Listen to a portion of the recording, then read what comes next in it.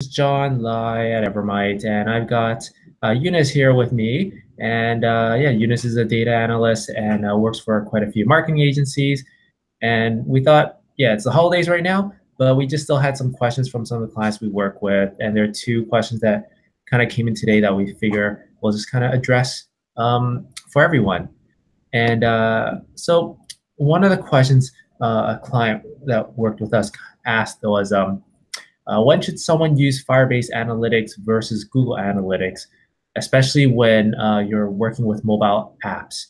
Um, and so I think, yeah, Firebase Analytics versus Google Analytics, that's the question. Uh, I guess for some people who don't really know, uh, Firebase is a suite of tools uh, that uh, offered by Google that developers use doing mobile development can use. So it offers services, I guess, things like uh, data storage, and it has like uh, analytics reporting, some authentication, quite a few useful tools so that for mobile developers, they can uh, uh build an MVP or minimum viable product or build a prototype or build something really quickly. And along with Firebase, it comes with an uh, analytics tool, which in some ways uh, people think that why use Google Analytics when you can use Firebase Analytics. Now on our team, we haven't really used Firebase that much. We may have, I think some of our team members may have tinkered a little bit with Firebase, but we haven't really rolled it into production. But as for Firebase analytics, um, yeah, I mean, we don't have as much comment on that. And Eunice, you may have had some experience between, well, you definitely have experience with Google Analytics. Uh, just curious what your thoughts are on, um, you know, Firebase Analytics versus Google Analytics. Like, how does one make a decision between one or the other? I think if you already have like the Firebase suite, it would be like pretty un- understandable to have Firebase Analytics as well. If you don't have Firebase suite, then Google Analytics is pretty much um, pretty standard uh, because Firebase Analytics uses Google Analytics information anyway. So it's just taking whatever Google Analytics already has and then just framing it in a minds that it will be easier for like mobile developers to understand like whatever their development work is like. Um, I think it also has a little bit more detail in terms of like uh, more like crash reporting and like understanding that kind of information. Whereas Google Analytics, it's quite basic in the terms of what information it can provide for mobile apps. So in terms of mobile applications, um, Google Analytics isn't really used as much. We always try to like look for other tool sets to try to understand how the mobile app is being used, um, because then there isn't um, the proper tracking, you can't really tell when somebody's using the app in the way that you want it to. So if you wanted some more clickstream information about like whether certain parts of the app is being utilized the way that you want it to be and kind of informing that kind of UX experience, Google Analytics doesn't really have that unless you set up these custom dimensions or custom tagging to it. So mm-hmm. Because it's very um, generic. It doesn't have a lot of information into it. So Firebase Analytics is a good tool to have as well. Um, and there's also some other tools out there that we can uh, that that are available so that you can see kind of more information about like crash reporting or or the UX experience of the app. Hmm, okay. Yeah. Oh, and um, uh, Eunice, uh, yeah, I know you're at home right now because the holidays and everything. Uh, the connection may be a little bit slower. So when if you have certain answers, you can slow down your answers uh, so that just in case you know it broadcasts more easily. Yeah, but we got most of that.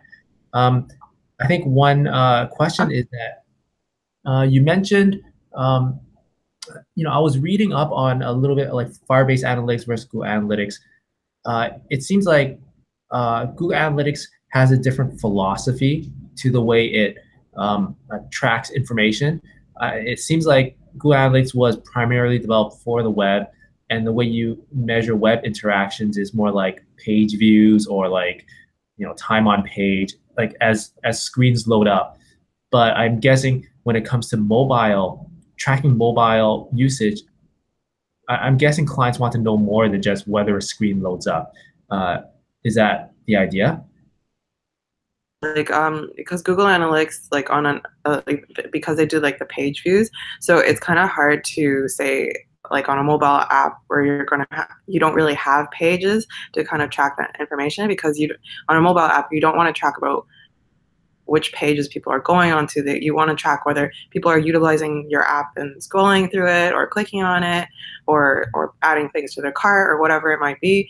Um, So that kind of information isn't really readily available because they're just getting the screen names instead of like the actual buttons or whatever you have on your app.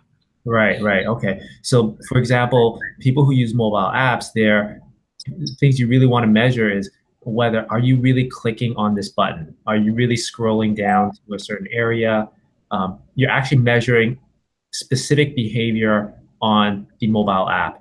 Um, whereas uh, Google Analytics, by default, it's not necessarily tracking that. Instead, it's just tracking overall you know, whether you're loading up a page or not. And yeah. if you want Google Analytics, so can you make Google Analytics track information exactly the same way as Firebase Analytics or capture that same information? You could, but then you'll have to uh, have more code in the back end to capture all these kinds of hmm. information as well.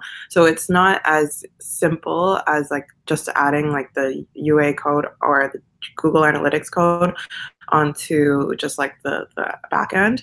You can it's it's because there's a lot more back-end coding that's required, that's probably why it's a lot easier to use other tool sets than Google Analytics for mobile apps. Mm-hmm. Okay, makes sense. And um, and you mentioned the word custom dimensions for Google Analytics. Is that the idea that because Google Analytics has the default way of tracking just whether a screen or page loads up, custom dimensions is for a developer to uh, specifically record very specific behavior uh, that they want, whether it's on a web page or a mobile app, that they use custom dimensions to define new custom metrics that they want to measure. And that actually takes more work uh, to do, whereas Firebase Analytics might have more of that automated uh, in a way. Is that the idea? Yeah, um, pretty, pretty much. Like the custom dimensions and metrics are utilized so that you can capture whatever other information that you want. What we usually use it for is for capturing like um, if we want to capture their ID that they like the Google Analytics ID that is given to them so that we can kind of track that person over time. Or if you want, you can also track like their email addresses that they've entered in or kind of what other um, content people would kind of type into some search box or like some forums, you can kind of track that information as well. And so it gives you extra um, metrics that you can look on top of that Google Analytics already doesn't already have. Right. Okay. Yeah. Okay. So I think that makes sense. So in summary, um, it's uh, oh, actually, I do have one more question. Then is, let's say you're building a mobile app and you're not using the Firebase tools. Um, is it uh, worthwhile to consider using Firebase Analytics, uh, even if you're not using Firebase tools, uh, versus using Google Analytics? Is there is that a case by case situation, or is it generally you might favor one or the other? Mm, I, I'm not sure whether Firebase Analytics would be the best for your mobile app. It really depends on what stage of the mobile app process you're in and what kind of tool sets would be most appropriate for that. Like if you're in the development stage versus if you're in the production and kind of just iterating through small updates, you might want to use a different tool. Um, it's it's there's quite a lot of tools out there in terms of um, looking at what you like analytics you can use to optimize your your app development. Um, mm-hmm. like depends on what case you okay. are in, and then Right. Okay. Yeah. So I guess in that situation, it's really just working with your data analyst and working with your developer and your and the rest of the team to do just an evaluation of what tool makes best uh, given your situation. Yeah. Okay. Okay. So I think that's pretty good. So in summary, Firebase Analytics versus Google Analytics. Uh, you know, if you're already using Firebase tools, it, you probably prefer to just start using Firebase Analytics. Uh, but if not, you might want to go with uh, Google Analytics but possibly you need to kind of evaluate uh, on a situation by situation basis. Um, Firebase Analytics is catered more towards mobile development, whereas Google Analytics was more catered towards the web initially, but you can still achieve many of the same results as Firebase Analytics with custom dimensions and other uh, customized uh, ways of uh, capturing information. So, okay. Uh, all right, so we had another question. Uh, that, so the one question we get from our clients often is, they do